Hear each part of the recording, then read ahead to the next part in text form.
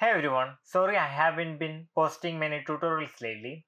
I've been having a lot of health issues, so I couldn't really make any tutorials. But now I think I am feeling better. And in this tutorial, I want to show you how to make the Hammer of Dawn effect from Gears of War in Unreal Engine 5 using the Chaos systems. So it looks like this. And here you can keep an eye on the frame rates. So if I just click on the ground, you can see this laser will come out and if I move it to the mesh like this you can fracture through the mesh. And obviously this is a lot of fractures but there are ways to optimize this also. And in games you probably won't need this many fractures. You can also have smaller number of fractures like this.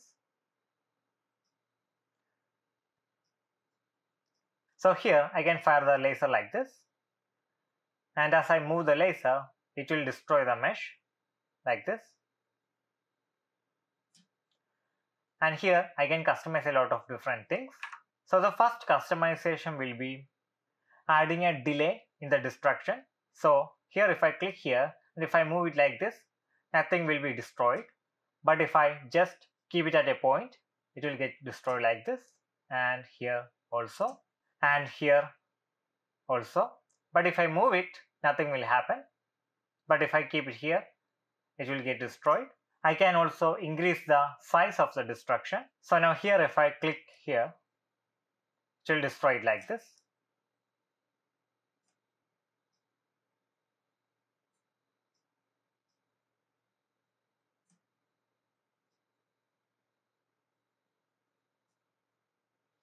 So here you can see I have a new gun. This is a laser firing gun. So if I pick it up, Can fire the laser like this.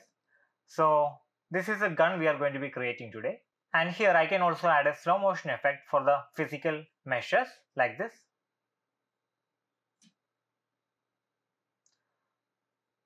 You can look at the frame rates. Our frame rates is in lagging, but the physics frame rates are different. You can also have this effect, but this is an experimental feature. This will also help in optimization. Also, you can control the speed. It's really simple. If you don't really want to watch the entire tutorial, all you have to do is go to the frame rates and tick physics async.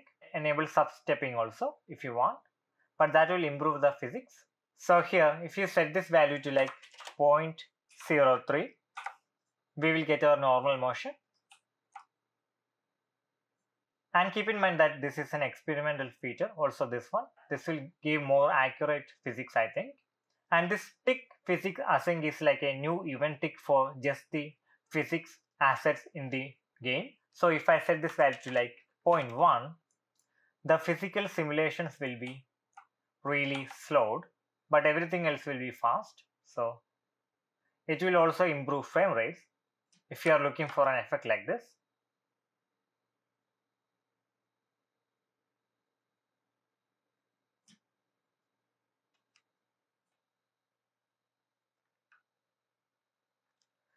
So this is what we are going to be creating today. And if you want to download the entire project file, you can support me on my Patreon. And for $5, you can download this project file and also download almost all my previous project files from there.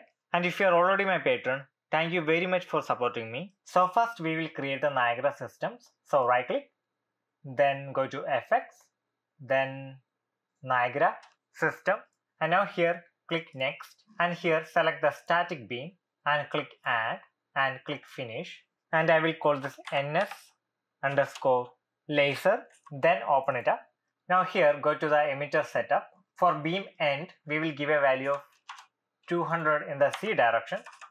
So it will be coming from the top. We can give a bigger value like 1200 and we can bring the system into the world like this and it should look like this and it should be fairly high. And now we can go to the particle system. And here we need to make this update really fast. So we can go to the emitter state and change the loop duration to 0.1 and we can go to initialize particle and change the lifetime to like 0.1 also. So it will update really fast. And now we can go to the spawn and change the spawn count to like 10 or something like that. We don't really want too many particles. And now we can go here to particle update and type in update beam because we are going to update the beam end location in the blueprint. So in order to update that, we need to have this update beam in the particle update. And here we can create a user exposed variable and it should be vector and we can call this LOC for location and this will bring our location from the blueprint to the Niagara system. And here we can go to the particle and we can change the color to a very bright red color like this. And here we can go to color here and we can untick this. We don't really want that. And now we can just change the color using this. And we can go to the beam width and we can just delete that and we can add a new beam width. And here I'll just duplicate this beam because I want to use this for something else later. So I will name this laser. And now we can work on our static beam. So here we can go to the beam width and we can use a curve here. So float from curve and change this normalized Age to link order. So ribbon link order and here if I set this value to like 0 and set this value to like 1 and if we increase the scale to like 10 or something like that and I will just untick this laser. So now you can see that it is kind of tapering off towards the end like this. I can also select both of these and auto curve it.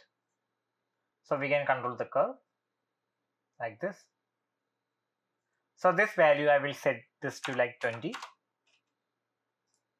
so this is what our beam looks like. And now we can go to the particle update and we can type in jitter. So we get this jitter like this. And here we can also click this and type in float from curve. And like before, set this value to like 0 and set this value to like 1 and if we increase the scale here so now you, you can see that the beam is kind of wiggling. And if we increase the count to like 15 or something like that we can have this shape. And now we can go to the detail position and auto curve this again. And get something like this.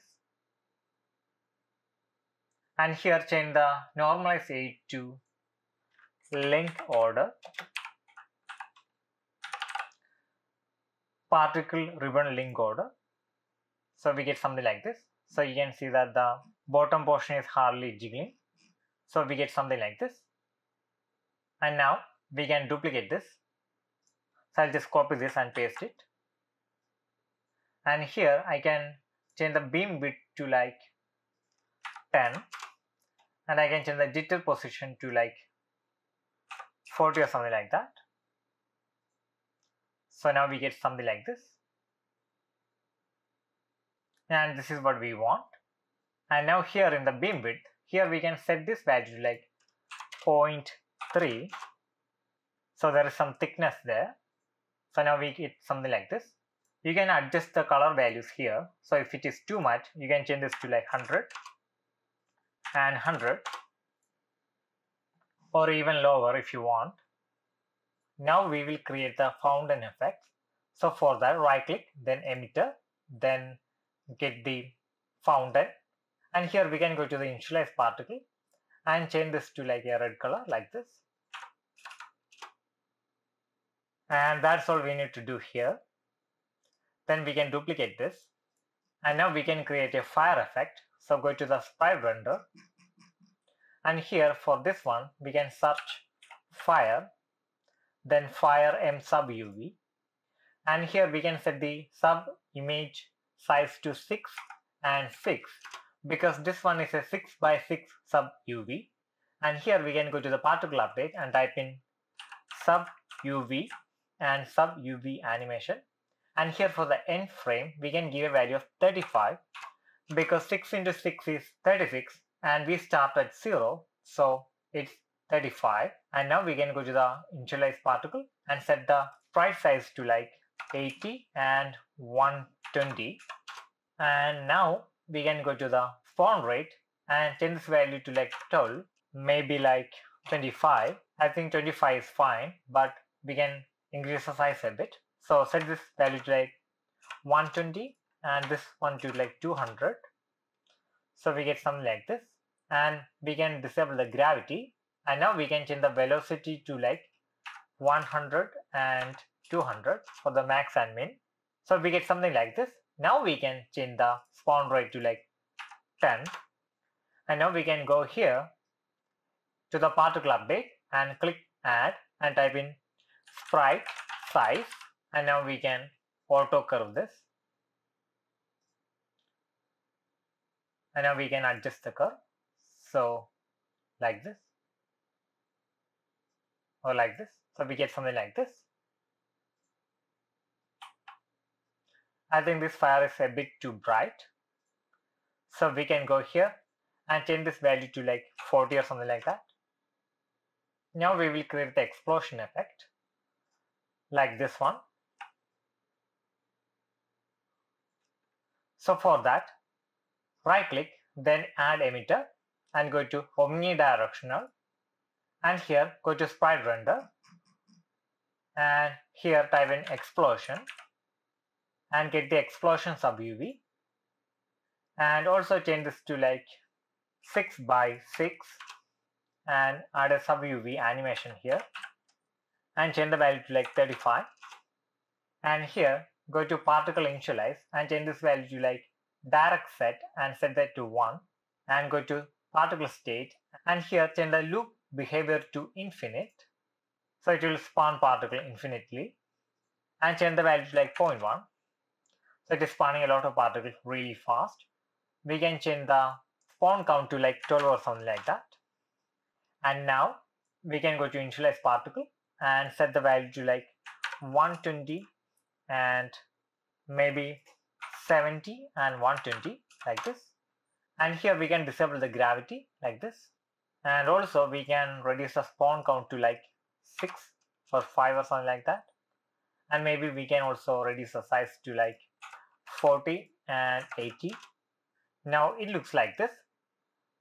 We can add a camera offset to bring it in front of the measure. So set this value to like 70 now here change the lifetime to like 0.5 so it will be faster.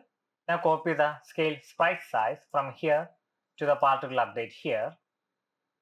And we can delete the old one.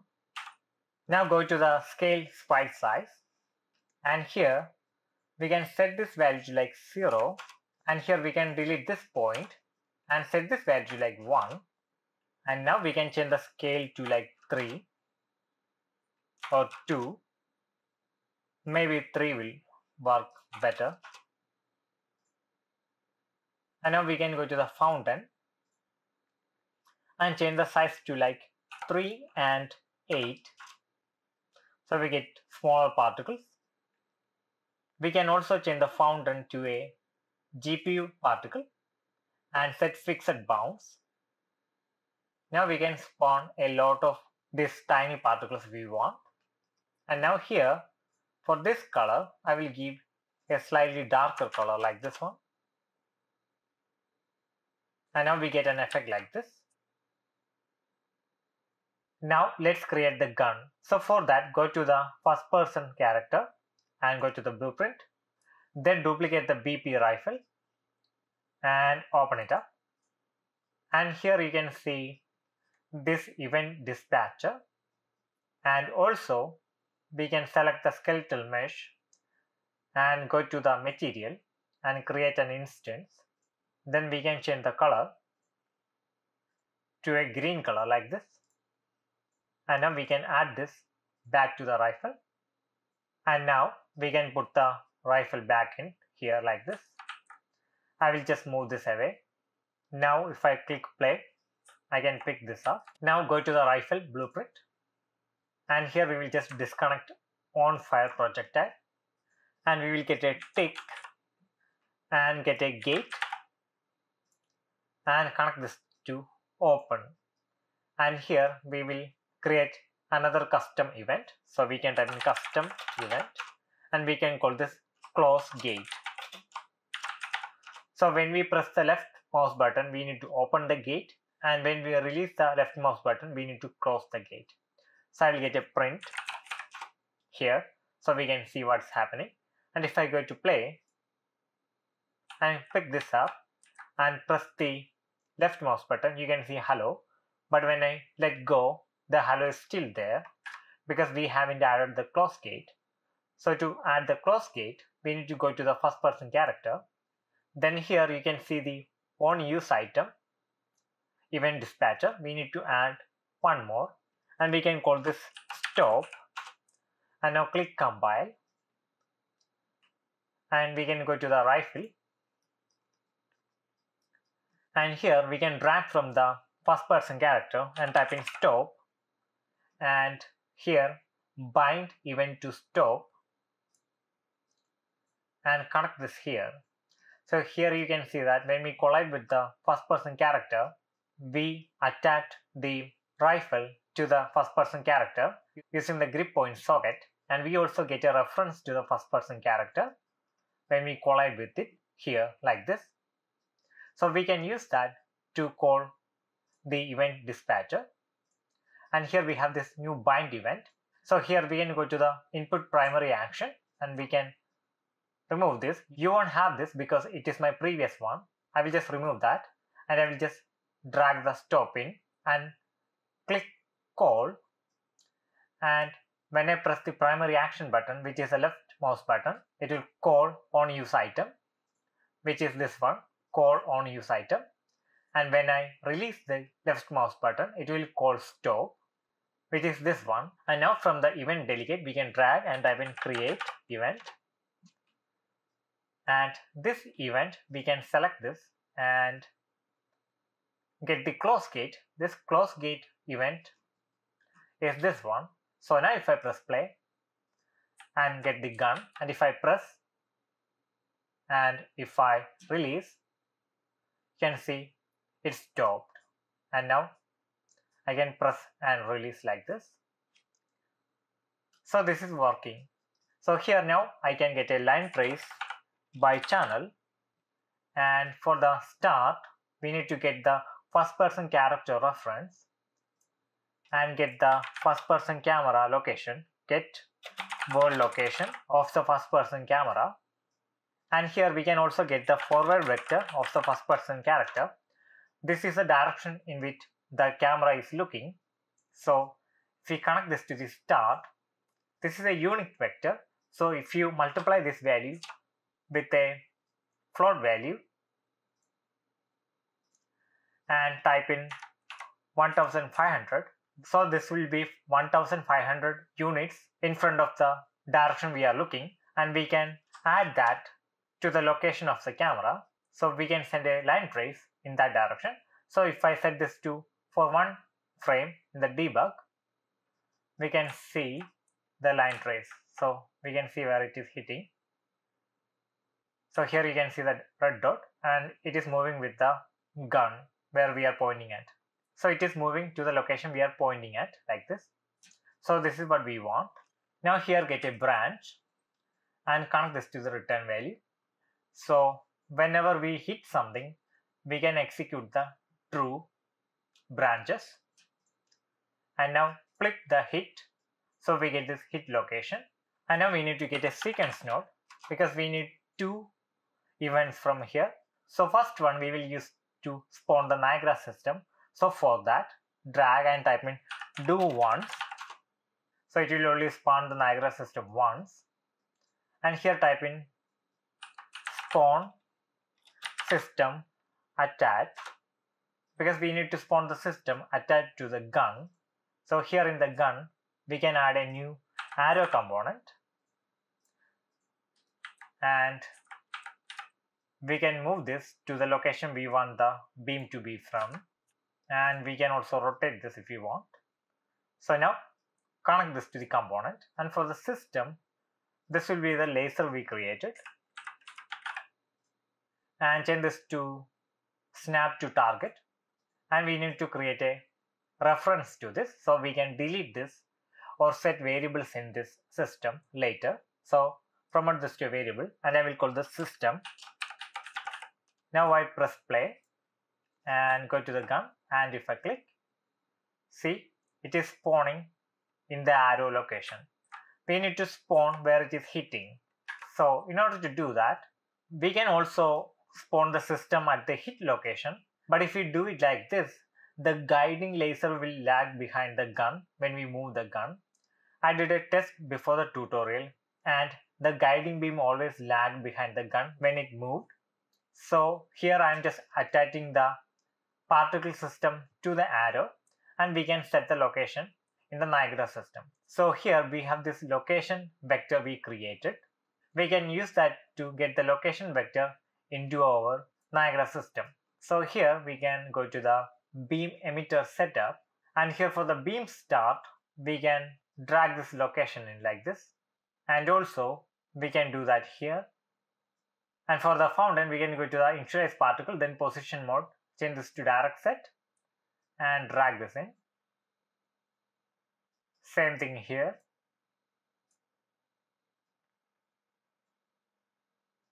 So I am doing it like this because I want to create the guide beam on the same system. If I had a separate system, I wouldn't have to do this. And here, go to the position and change this to direct set and drag this in. And this laser we will set up as the guide beam later. So now go back to the rifle and here we can, now we can get the system like this and do an is valid check here so if only this system is valid, we will drag from the system and type in set vector parameter and this parameter name should be this this LOC name we created. So type in LOC and connect this to the valid and connect this to the out hit location like this. And if I press play and now if I get this and now you can see our beam is spawning at the location like this. But you can see that the guide beam is going somewhere else. So we need to fix that.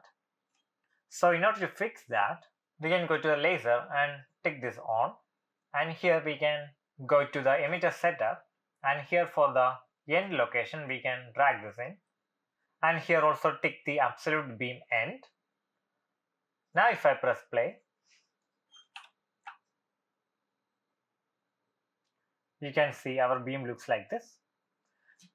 So now we can reduce the size of the beam. So go to the beam width and change this to like 1. Now if I press play, we get something like this.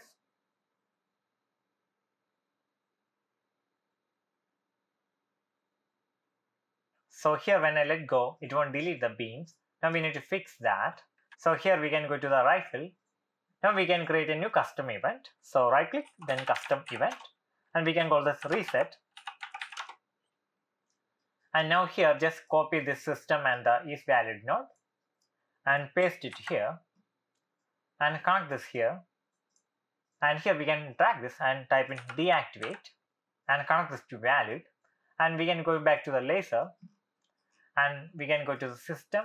So here in the system update, the inactive response should be complete and let the emitter finish then kill the system. So it will kill the system when it is deactivated and now connect this here to the reset. So we need to reset that after we deactivate the system because we need to create that again. And here for the false we can call reset. And here for the close gate also we can call reset. So when we let go of the button it will reset the do once. So now if I press play and get the gun and press you can see when I let go it will delete the system and if I go up it will also delete the system. So it won't hit anything. So it will delete the system. And we have this laser like this. Now we will create the field system to interact with the chaos meshes. So for that, right click, then blueprint, then type in field then get the FS master field and select. And I will call this BP field system then open it up. So we get this thing and here we can change the activation type to trigger. We can also turn on the debug for now.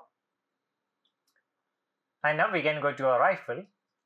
Here we can spawn actor from class and this one. And we will spawn the BP system. And now click this. And for the location we can get this location. From this out hit location. So we can bring that in. And now if I just press play. So here if I pick up the gun and if I click you can see that it is spawning this field but it isn't doing anything.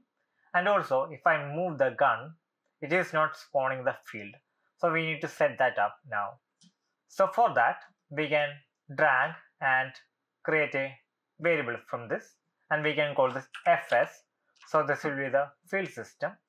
And here we can drag this. If we go here you can see that the field system component is a parent of all of this. So we need to call that. So here drag and type in get world location. And here we have to get the world location of the field system component. I'm sorry we have to set the world location. So delete that and drag from this and type in set world location. And connect this here.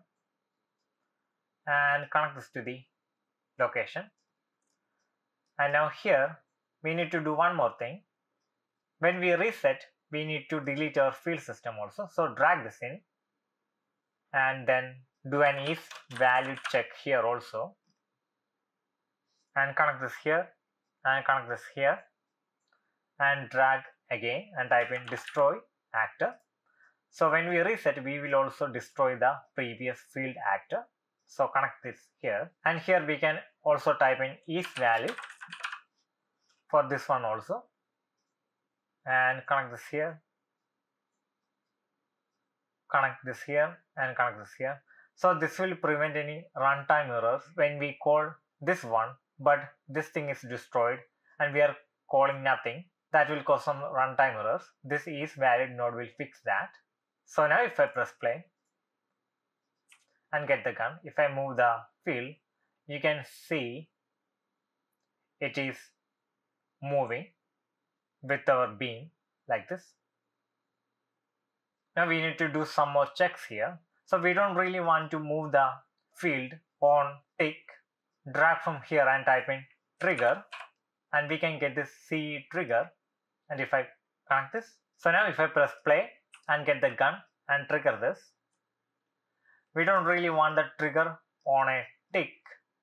So in order to fix that, we can get a branch and connect this to here and connect this to the exe and here we can move all of this here like this and now we can promote this location to a variable and we can call this location.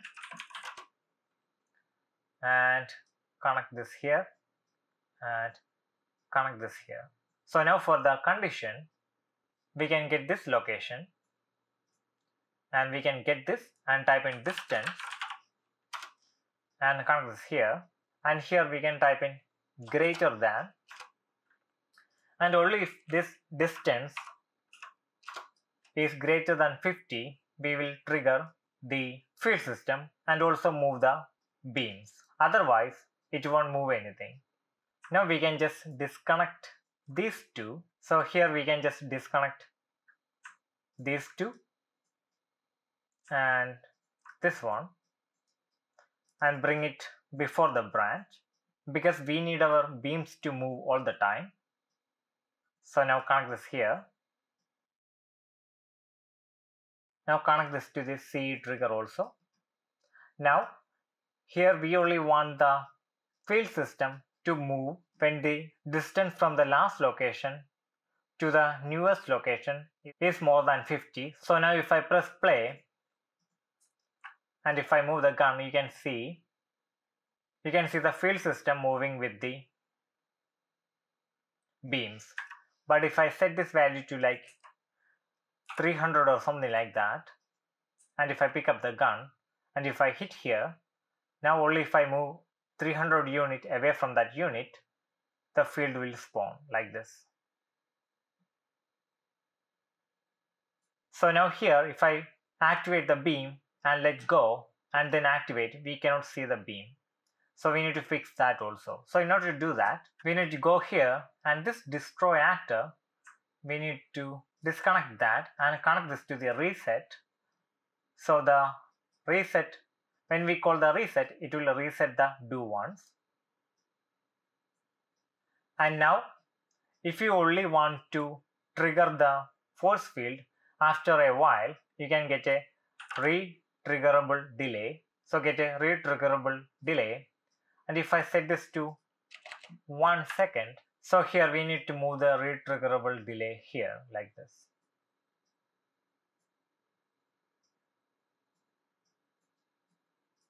So now the force field will only trigger if we hold it in the same position for one second. So if I hold it here for one second it will trigger like that. So you can also set that to like two seconds if you want.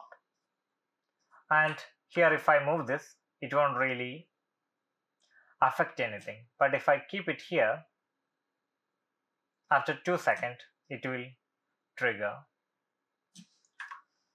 And if I set this to like zero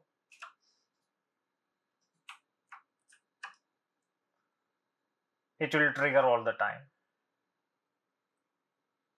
So here we also need to reduce the distance to like 150 now we will create the chaos mesh. So I will just delete this one and I will just duplicate this. And I can select this and I can go here and I can go to the fracture and here I can create a new geometry collection and click OK and now go to uniform fracture and set this value to like 8 and 16 so we get bigger collection like this and fracture that. So we get this level 1 with 15 chunks. So now we can increase this to like 24 and 50 and fracture.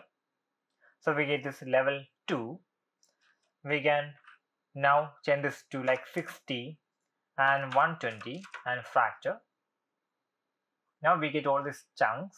So now we can go to the cluster and auto cluster them. It will take a while and it will create a new cluster. Maybe this value is a bit too much. You can keep it at level 2 if you want. And now if I just get this explode amount, we can see the explosion.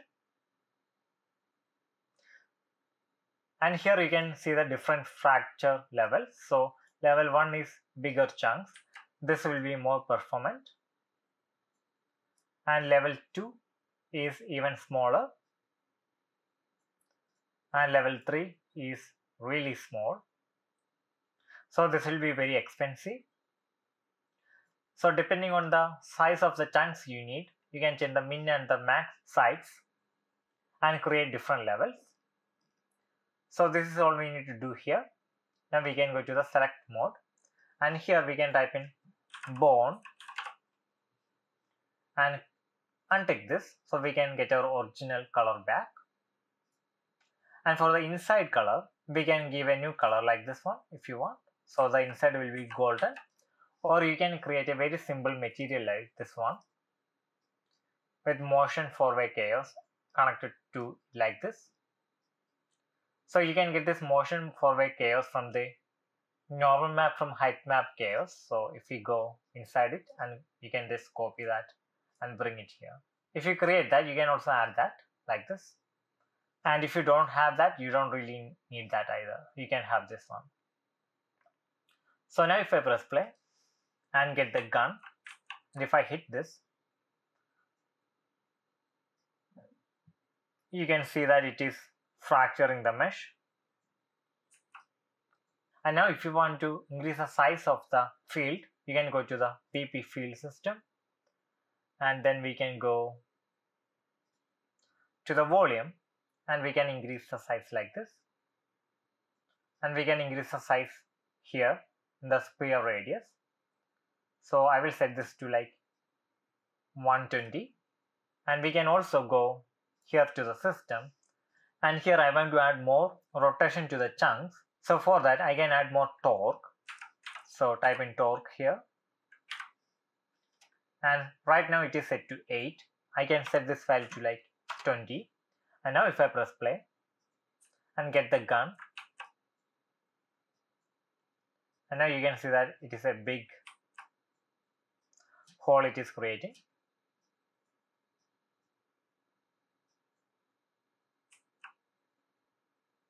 and now I will set the size back to 50 and now I will go to self and untick the debug. So I cannot see the field. So now if I hit the mesh you cannot see the field but you can still destroy everything. Now here I already had these performance things on. So if I just turn that off so now if I press play and get the gun and if I move this you can see it is fracturing the mesh also this one like this but here you can see our frame rates dipping really below 20 when I move this like this. So if you want to increase the frame rates, there are some things we can do. You can use an experimental feature in the project settings. So in order to get that, go to edit, then project settings. Then here type in async and here we can turn on the sub-stepping. This will give more accurate physical collisions, I think. And here we also have this tick physics async. So if you tick this, we can select the interval at which the physics simulation updates. So if I set this to like a value of 0.1, the physics simulation will update very slowly. So it will look like we have slowed the time like this. So this will also help with the performance.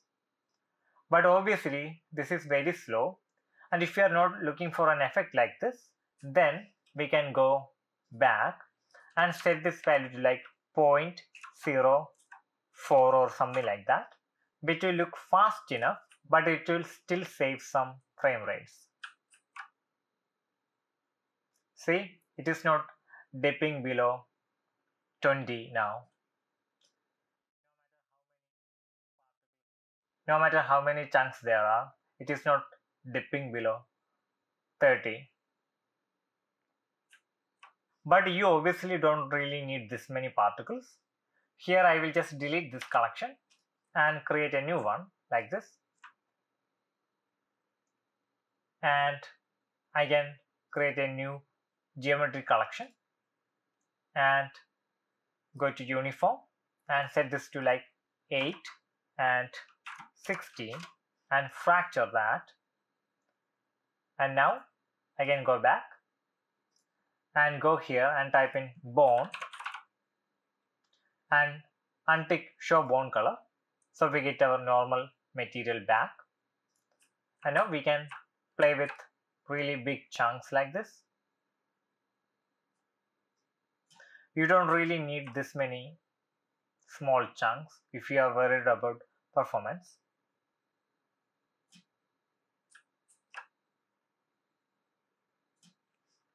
Also one more thing you can do is that you can go here and change this step value to like 1. So keep in mind that this is an experimental feature. So sometimes it may not work correctly. So now if we set that to 1 second and, and if we just simulate this, you can see a slow motion effect like this, which is kind of cool.